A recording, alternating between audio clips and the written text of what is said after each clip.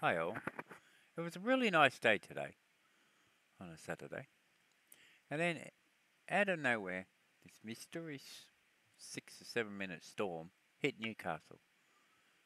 The big tree out the back sort of survived it. But it was intense, and there was hail. So have a watch, and then watch, like, and then it came sunny again. Right, it only lasts about seven minutes. It was intense. So imagine that would last two or three hours. We have mass flooding, wouldn't we? This is what hit in the world. So, storms like this are causing mass flood. But where they're coming from?